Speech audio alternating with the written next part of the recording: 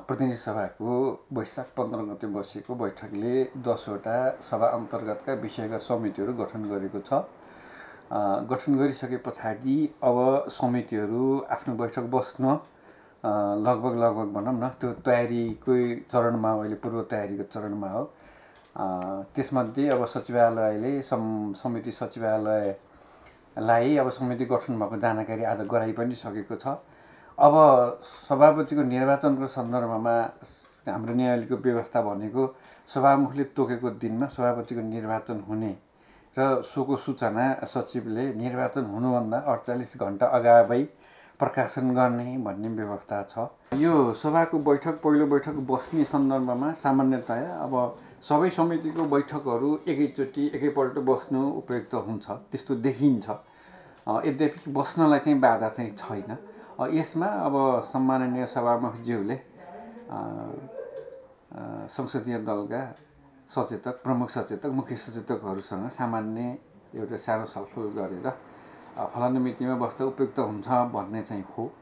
यद्यपि अब समिति गठन भइ नै सके पछाडि समितिको बैठक बस्नलाई चाहिँ कुनै त्यस्तो अप्ठ्यारो पर्ने चाहिँ देखिन्न। समिति सचिवालयले उक्त समितिको ज्येष्ठ सदस्यसँग सम्पर्क गर्छ। उपस्थित मध्येको ज्येष्ठ अब ज्येष्ठ मध्ये दुई तिनजनालाई तयारी गर्नुपर्ने हुन्छ। अनि समिति सचिवालयले ज्येष्ठ सदस्यसँगको समन्वयमा चाहिँ पहिलो बैठक बोलाउने कुरो हुन्छ।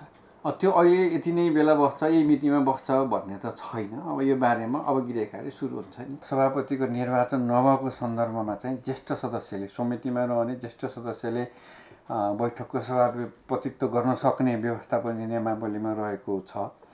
त्यसै गरेर यो सभापतिको निर्वाचनको लागि चाहिँ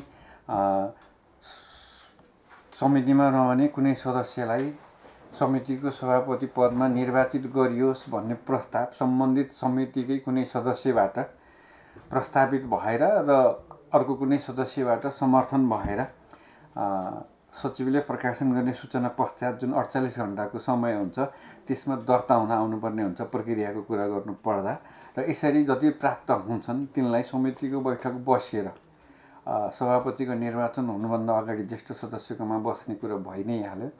बसेर त्यसलाई न्यायार्थ प्रस्तुत गर्नुपर्ने हुन्छ। जुन प्रस्ताव बहुमतले पास गर्छ एउटा मात्रै परे त निर्विरोध घोषणा गर्ने कुरो भइ नै हाल्यो। अनि जुन प्रस्ताव चाहिँ बहुमतले पास गर्छ त्यो पास गरिसके पश्चात प्रस्तावित सदस्य सभापतिको रूपमा प्रस्तावित सदस्य उक्त समितिको सभापतिमा मनोनयन हुनुहुन्छ।